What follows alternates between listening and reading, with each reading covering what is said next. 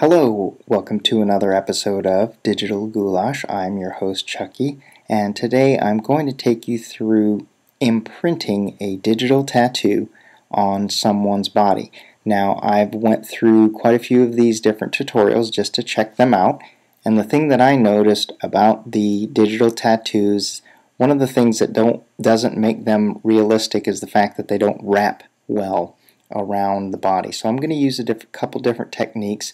I'm going to be using the displacement map technique. Now one of the reasons why I picked Bridget Moynahan is the fact that she has a little tattoo right here. So when we finish this we're going to kind of check out our tattoo versus the tattoo that she already has. So the first thing that we need to do is we need to find a real nice channel under our channels palette right here that has a good contrast in her skin tone. So I'm just going to go ahead and click on one of these. Uh, there's the RGB. I'm going to click on the green layer and you can see that that's got some nice contrast in there, got some nice tonal values. We're going to go ahead and correct that a little bit, but for now I'm going to pick the green layer for skin tone. I'm going to click this little thing right here, this funny little drop down box. I'm going to click on it and I'm going to create a duplicate channel. And in this duplicate channel we're going to see a dialog box that comes up. And I want to create a new image. And the thing that I'm going to call it is displacement map. I'm going to select OK. And that's going to create a new image here. Then I'm going to hit Command L or Control L to get our layers dialog box. I'm going to drag this in. That's going to brighten it up some, but I'm also going to take this over and make it just a bit darker. Take the midtones here, but I'm going to also drop that over here.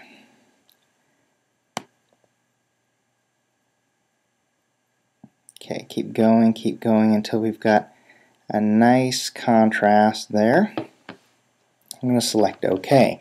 Now you can see that we've got some nice, I'm going to put this tattoo right on her leg, so we've got some nice areas right here. Now once we are done with this, just going to save that particular file out. Just going to save it out as a PSD. So I'm going to do a save as, and on my desktop I'm just going to call it displacement map PSD just going to save it just as it is. I've already done this tutorial a couple times, so I'm just going to replace the file that I have already there. I'm going to go ahead and close that tab. Now the next thing that we need to do is we need to get her back into full color. So I'm going to go back to my channels. I'm going to click on RGB and there she is in full color again. Now I have a tattoo that I've downloaded. I found one on the internet from a free site.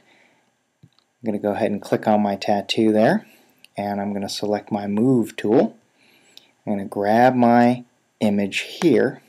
I'm going to drag it on top of this tab and hold on to it until my picture shows up. And then okay let's try this again. Let's go ahead and drag that on top of there. Then I'm going to go ahead and let go. And I'm going to place this there. Now we do have to do some scaling here the first thing that I'm going to do so I can see this a little bit better is some of the other different tutorials that you see there will ask you to use the magic wand, get rid of the white. I'm not going to do that. I'm kind of lazy here with my tutorial, so I'm just going to select my layer. To click on it and change it to multiply, and what that's going to do is that's just going to get rid of the white there for us. So you can see that that really quickly got rid of the white. And on a black and white image, it's a miracle tool to use. Now I'm going to click Command T or Control T on Windows, and I'm going to hold this out a little bit, and I'm going to change this around a bit. I'm going to can't see that too well, but I'm going to select this. I'm also going to hold the shift key down and I'm going to make this a lot smaller for her leg. I'm going to come over here, try and get this on her leg somewhere so that it looks like it is being displaced well. So let's go ahead and get it as best we can on top of her leg. Now this is where we could just take our layer and change the opacity and then we would be done except for the fact that it wouldn't look real. I'm going to hit the enter key and there is our tattoo but obviously comparing it to the other tattoo it doesn't look very real. So the next thing that we need to do is we need to work on this with our displacement map. So I'm going to go over here and I'm going to go into the filter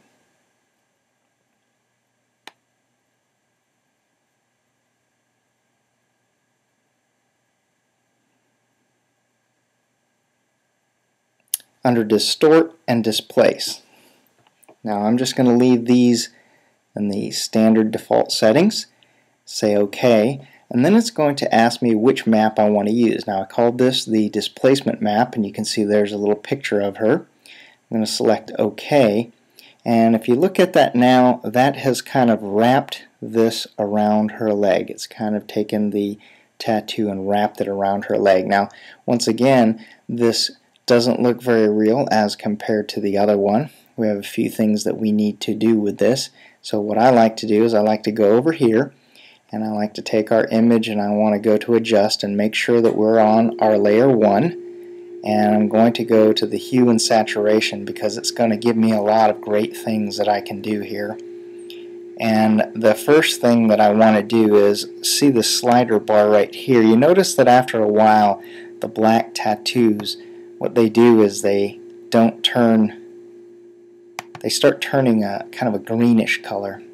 I'm going to click colorize and then I'm going to take this to the right some and uh, I'll show you a little bit. You can see at the very bottom of the video that I'm going to take it over. It's going to start to get a little bit on the bluish side here, kind of a bluish green.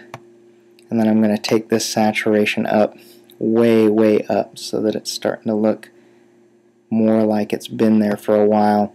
then I'm going to take the lightness scale over. And you can see that if I took it way over, it's kind of starting to look blue, but I just want it to be maybe like she's gotten a, a new tattoo and it hasn't been there for a long time.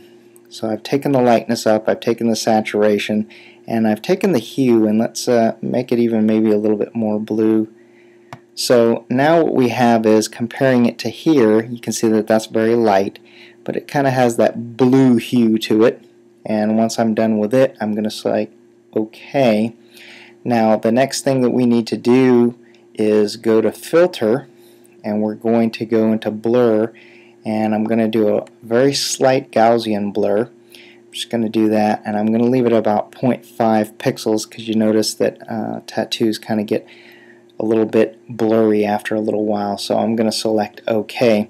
Now we still have this done and it's a little bit dark so we could go to our final piece here and we could go over to our opacity on our layer 1 select that and take down our opacity just a little bit and then come over here and there we go. We've got this tattoo right here. And if she did get this tattoo about the same time as the other one then you can see that they're pretty much the same color. It's kind of got that bluish tint that starts happening after the tattoo starts getting a little bit old. And then you can see that the tattoo is wrapping around her leg using the displacement map.